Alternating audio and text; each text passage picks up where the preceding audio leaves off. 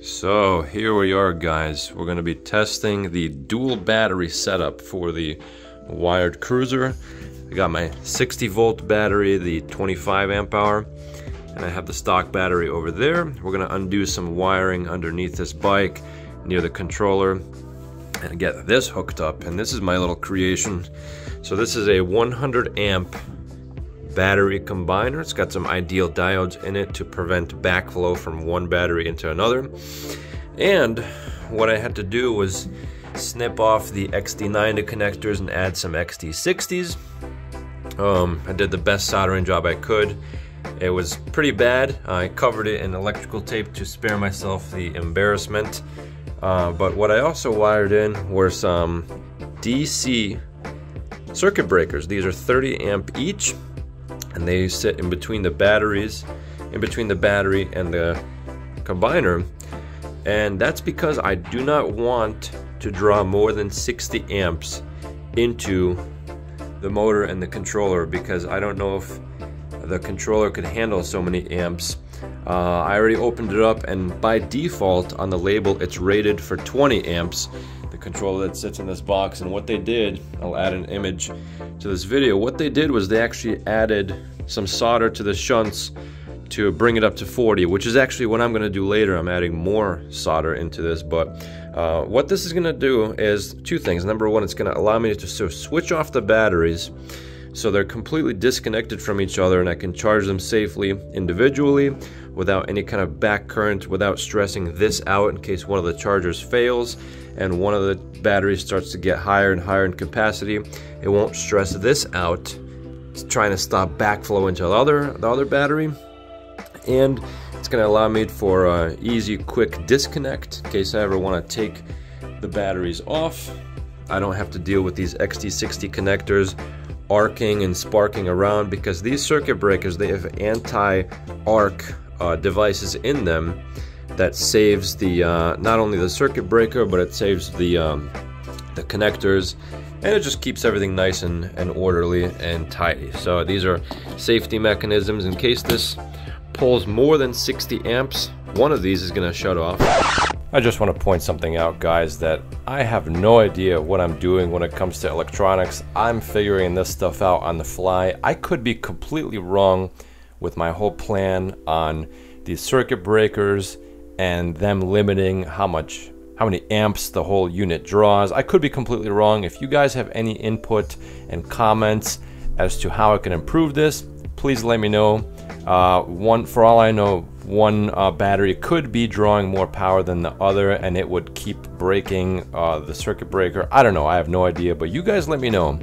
And I also want to mention that if you guys want any of these parts, I'm going to leave a list of them in the comments below. If this is something that you guys want to do, uh, I'd recommend it. And if you want to just do a basic battery blender, I would actually recommend using the Fusion battery blender. I think it's a much better value than the Date X2 battery blender. Those things are way overpriced. I don't know how they get away with it it's gotta be it's gotta have gold in it i swear to god i don't know but i'd recommend the fusion battery blender i think it's a great product if you just want two batteries but if you want to do something high amps stay tuned and you'll find out if my system does work uh, these battery BMSs are made for 40 amps, but I do not want to put 80 amps at 60 volts into this motor. That would be way too much. So yeah, guys, let's see how it goes. Here's the first test run. Alright guys, so we are successful. Everything worked out okay. Nothing exploded in my face and burned out. Circuit breakers work. I text tested them out. In case you guys are curious, the place to unplug the controller from the default stock batteries underneath. Got a couple XT60 connectors. So next up, what we're gonna do is just wire everything in nicely, make everything nice and neat packed up tightly in this step-through cavity. All right, and now for just a little bit of quick dual battery testing. See how this goes. So currently I am running off of two batteries. Just want to see what the throttle's like. All right, we're getting power, folks.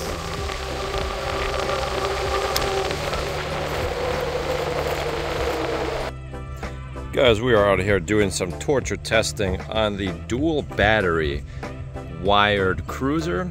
As you can tell, I got rid of the casing, for now, of the controller and everything is exposed. Obviously the motor is exposed, at least the casing is, the controller, the dual battery splitter, the batteries, the circuit breakers, all that stuff. And I did some temperature testing and it turns out the hottest part of all of this and the owner of the company was right. He told me this would happen.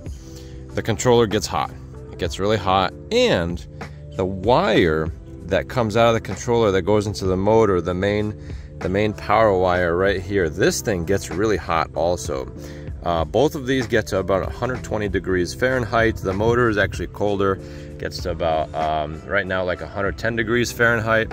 And it is a hot day, guys. It is uh, 90 something degrees outside today. So I figure this is a good time to torture test this system and see what kind of temps we get. The battery voltages, they're very similar.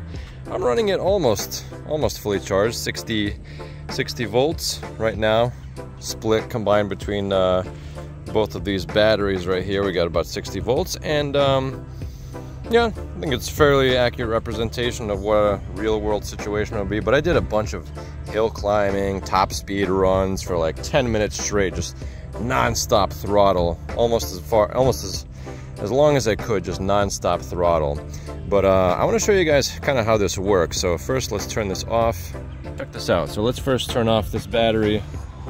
And there's a switch back here. All right, so I turned off the unit power pack battery. And this is this circuit breaker's to the main battery. So boom, that's off. And then I've got also another switch back here to the unit power pack battery. Boom, so that's off. So now I have no power to the whole system. Watch me turn this on. It's gonna flash for a brief moment and that's it because there's nothing, right? The controller is drained, the capacitors just got drained, the controller. Now there's no power, okay? So let's say I wanna just run one battery only. I can flip on the main battery switch, right? And that's for the big battery, right, that the bike comes with. I could turn this on. And if you see here, we're at 58.6 volts, right? I could turn that off. Let's say I want to use the other battery, right? No disconnecting required. Flip that off, flip the other one on. And if you guys see,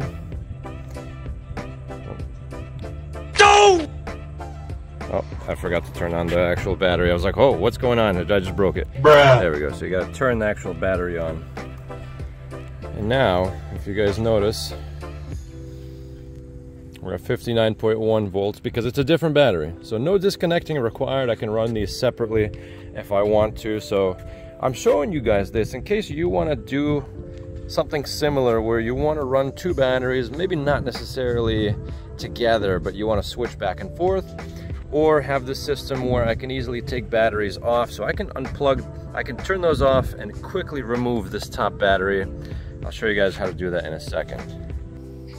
And one last thing I wanted to show you guys was the mounting mechanism for this battery. Earlier in my last video, I said I would have to learn how to sew so I can get these straps on here and whatnot, but, uh, and I also said I was gonna use a wire cable over here. I decided to just use straps and everything, and this is gonna look even better when I'm done with it, but what I did was I put one behind the down tube, put the bottom one, again, like I mentioned, it goes over the tube uh, up here, over part of the frame, and then on this side, three straps that wrap around the entire frame.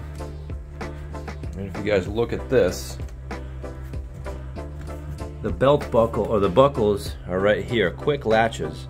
So all I have to do to get rid of all of these batteries is just turn off the breakers, okay, make sure they're disconnected. Disconnect the XT60 connector so it's safe to disconnect, right, and reconnect later. And then all I have to do is unlatch this, unlatch those, and this comes right off. And then obviously I can use the key to remove this battery. So I can get rid of these batteries very quickly in under a minute if I need to put this bike on my car rack for transport, make it lighter for lifting, whatever it is, and then I can easily put it all back on. And I want to reiterate, this is all temporary. Everything is going to look much better uh, once I'm done with it, but so far so good. Everything fits okay. The only thing that I probably will change, I'm still trying to figure out how to cool this controller because when I took it for a test drive uh, today, I did some torture testing and stress testing on it. It got really hot. It got up to 120 degrees Fahrenheit. And in the controller world, I don't know that much, but I did some research and that's not that hot. However, this wire that goes to the motor, I think this is called a phase wire. This also got to about 120 degrees, so this thing gets pretty hot, right? Especially when it comes out from under the controller, it's about 130 degrees over there. So I don't know what I'm gonna do for cooling. I did uh, do a little bit of research on the um, DIY e-bike forums and people were saying to replace the thermal paste in this controller. I might do that. I also might make a small cutout, open this out and put the fan that I was originally going to put here blowing this way just straight into the controller and out and down. I know ideally it's better to have a fan blowing upwards and or in from the bottom and out from the top just because that's how uh, hot air naturally rises but there's wires down there so I can't really fit something down there. I'll have to figure something out. But uh, yeah, guys, that's the update. So the plan for the next part of this video, I'm gonna be fully charging this as it is right now, and I'm gonna do some performance testing. I'll do some uh, hill climb tests, top speed tests, 0 to 20 mile per hour, per hour test, 0 to 30, um, and, uh, and get some good numbers of what the stock performance is like. I'm sure you guys already know watching some other people's videos, watching some reviewers' videos on this bike, uh, watching my videos, but just once again, just to get some good comparison shots. And once I do the shunt mod to get more amps into this, I'm gonna do the same exact routes that I tested this bike on, on, on the stock bike. I'm gonna do the same exact routes that I tested the stock bike with the shunt mod, right? I'll, I'll see how it's how it's different, and that way we can get a direct side-by-side -side comparison and a timer for more accurate, uh, a more accurate representation of just how much power, just how much faster this bike is with the shunt mod versus without it. So stay tuned. That's what's going to be next. We're doing uh, the exciting part next. We're doing the mod to get more power, and we're going to test the performance, right? And and guys, we'll see how it goes. Hopefully nothing burns out. Um, for now, I'm gonna keep this expo this controller exposed. This is all one big heat sink. There's actually hot parts inside of this box that are um, pressed up against the casing, which acts like a big heat sink. Uh, so keeping this exposed right now helps a lot with cooling. So that's what we're gonna do. I'm gonna keep this all exposed um, during the stock testing and during the shunt mod testing. So stay tuned, guys.